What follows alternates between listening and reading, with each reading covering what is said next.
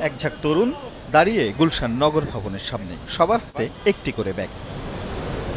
দেখে কৌতূহল জাগে। একটু কাছে গিয়ে আগ্রহটা যেন আরও বাড়ে। প্রতিটি ব্যাগে আবর্জনায় ভর্তি। আর এই বর্জ্য নিয়ে গন্তব্য নগর ভবনের ভেতরে। গত মাসে ডেঙ্গুবাহক এডিস নিধনের সচেতনতা কার্যক্রমে গিয়ে উত্তরের মেয়র ঘোষণা দিয়েছিলেন, ডাবের খোসা, চিপসের প্যাকেট, পরিত্যক্ত কমট কিংবা পানি জমে এমন যে কোনো বর্জ্য জমা দিলেই মিলবে নগদ অর্থ। যেই কথা, সেই কাজ। রোববার দুপুরে শত শত ব্যাগ ভর্তি বর্জ্য নিয়ে নগর ভবনে হাজির বিডি ক্লিনের শতাধিক স্বেচ্ছাসেবক। এই কাজগুলো করার মূল উদ্দেশ্য হচ্ছে আমাদের নগরবাসীকে সবাইকে সচেতন করার জন্য। আমাদের কথা ছিল যে ওয়ার্ড অনুযায়ী আমরা মেয়রকে দিব। বাট সেটা আমরা এখানে আছে যাতে পুরো বাংলাদেশ সবাই জানতে পারে যে আমরা এই কাজগুলো করছি এবং তার নিজেরা সচেতন হতে পারে।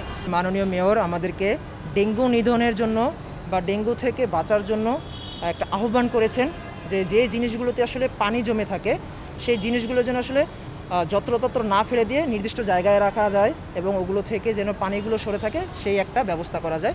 তার সেই আহ্বানে আমরা সাড়া দিয়ে আজকে আমরা এই ওয়েস্টগুলো কালেক্ট করে নিয়ে আসছি। আমাদের এই কাজগুলো ধারাবাহিকভাবে চলবে। শুধু আজকের জন্য না আমরা প্রতিনিয়ত করে যাচ্ছি এবং আমাদের যে টোটাল আমাদের জেলা আছে, সবগুলো জেলায় যে টিমগুলো আছে, তারা প্রতিনিয়ত কাজ করে যাচ্ছে এবং আমরা পাশাপাশি পরিচ্ছন্ন বাংলাদেশের স্বপ্ন দেখি এবং আমরা চাই বাংলাদেশ একদিন পরিচ্ছন্ন হোক। প্রতি শুক্রবার ইভেন্ট করে থাকি। বিভিন্ন জায়গায় যেয়ে আমরা পরিষ্কারের বার্তা ছড়িয়ে দিই। মানুষদেরকে আমরা সচেতন করি। আমরা চাচ্ছি যেন সারা দেশের মধ্যে এই সচেতন বার্তাটা ছড়িয়ে পড়ুক। এটা আমরা টাকার জন্য করি না। একমাত্র দেশের জন্য, দেশটাকে সুন্দর রাখার জন্য, দেশের মানুষদেরকে ভালো রাখার জন্য আমরা নিজ থেকে, নিজ দায়িত্বে নিজ দায়িত্ব মনে করে এই কাজটা করে থাকি। একসাথে করার মূল উদ্দেশ্য যেটা ছিল যে আমরা আলাদা আলাদাভাবে করতে পারতাম অন্যান্যরা যেভাবে করছে। কিন্তু আমরা এই যে আজকে যে সবাই একসাথে করলাম এই জিনিসটা আসলে সবাইকে একটা বড় মেসেজ দেওয়ার জন্য যাতে সবাই আমাদের এই উদ্যোগটা সম্পর্কে জানতে পারে এবং এই উদ্যোগটার সাথে সবাই নগরবাসী সবাই যারা আছে সবাই যাতে এঙ্গেজ হতে পারে। শুধুমাত্র এই জন্যই। সাতশোরও বেশি স্বেচ্ছাসেবী সংগ্রহ করে প্রায় উনচল্লিশ হাজারের বেশি বর্জ্য যার মধ্যে আছে চিপসের খোসা প্লাস্টিকের কাপ গ্লাস ডাবের খোসা মাটির হাড়ি। মেয়রের হাতে তুলে দিয়ে এক লাখ ছিয়ানব্বই হাজার পাঁচশো টাকা বুঝে নেয় স্বেচ্ছাসেবী সংগঠনটি। যদিও এই অর্থ দিয়ে নিজ উদ্যোগে উত্তরের পথে পথে ডাস্টবিন তৈরির কথা ভাবছে বিডি ক্লিন। আমরা আসলে টাকার জন্য এই কাজগুলো করিনি। আমরা এই কাজগুলো করেছি একান্তই, শুধুমাত্র নগরবাসীর সুস্থতার জন্য, আমার সুস্থতার জন্য, আমার পরবর্তী প্রজন্মের সুস্থতার জন্য। আমরা এই টাকাগুলো পাবো, আমরা আগেই পরিকল্পনা করেছি যে এই টাকাগুলো দিয়ে আমরা এই ঢাকা উত্তরের যে কোনো একটা এলাকায়, একটা এলাকাকে আমরা হচ্ছে গিয়ে ডাস্টবিন স্থাপন করব। যত যেই কয়টা ডাস্টবিনই আমরা পাই না কেন এই টাকা দিয়ে আমরা স্থাপন করব। প্রতিষ্ঠানটির এমন উদ্যোগকে স্বাগত জানিয়েছেন খোদ মেয়র।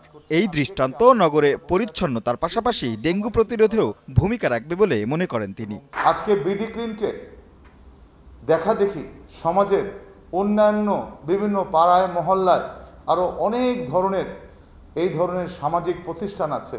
আমি সকল সামাজিক ক্লাব থেকে শুরু করে বিভিন্ন সেক্টর থেকে শুরু করে বিভিন্ন সোসাইটিকে বলব, এগিয়ে আসার জন্য, এই সামাজিক আন্দোলনে শরিক হওয়ার জন্য। সামাজিক আন্দোলন ছাড়া যে কমিউনিটি ডিজিজ এডিস মশাটা হচ্ছে কমিউনিটি ডিজিজ কমিউনিটির ভিতরে কমিউনিটিকে ইনভলভ করতে হবে।